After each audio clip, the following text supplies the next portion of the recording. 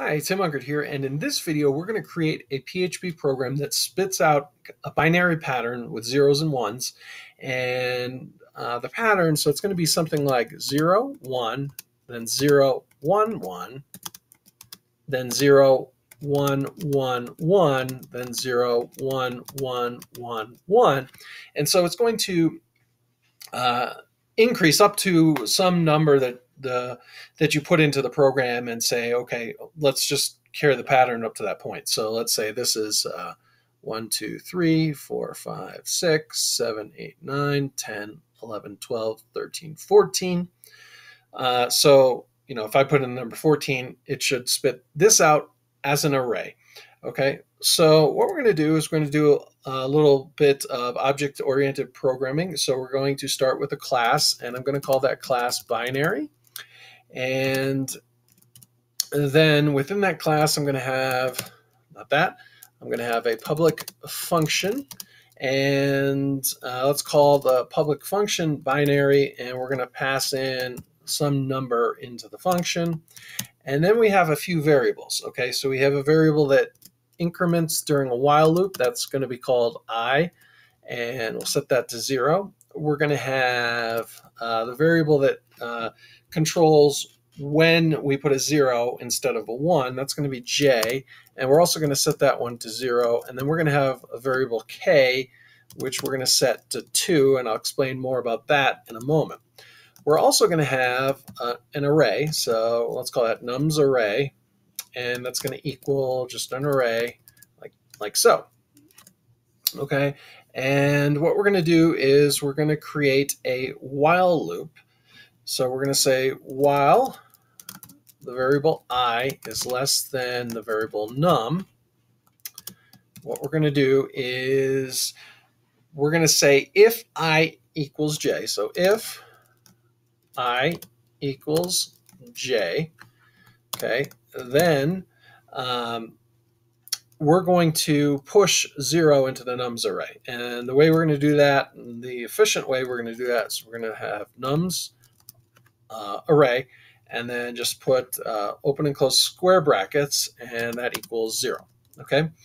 And while we're doing this if part of the statement when we equal zero we got to set j again for the next one. So we're going to say j equals j plus k okay so if you look at this pattern um, the first time j is zero the second time j is two okay so 0 equals 0 plus 2. That makes sense.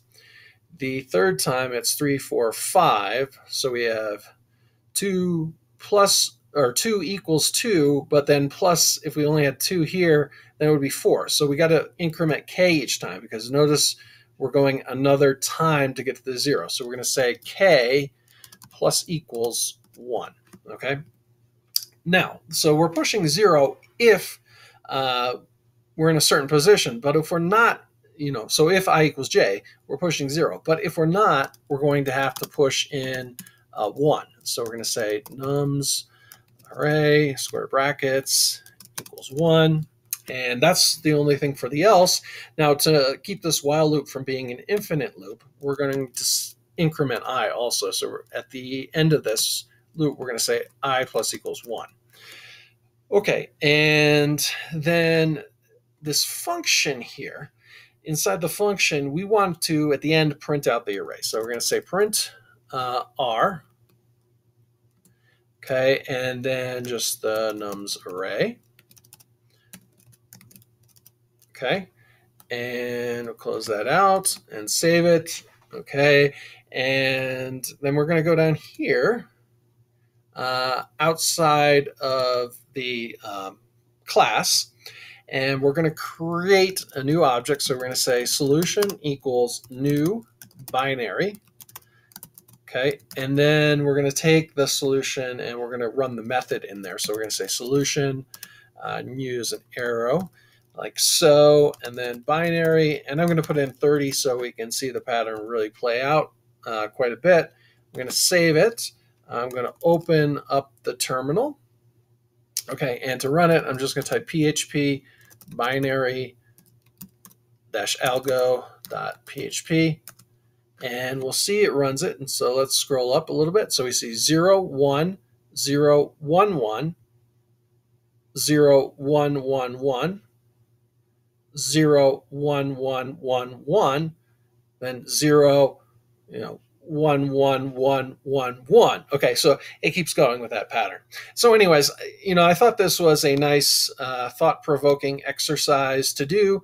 Um, this is how you do it. I'll leave a link to the code in the description uh, and I thank you for watching. If you like this video, please like and subscribe and hit the bell for notifications.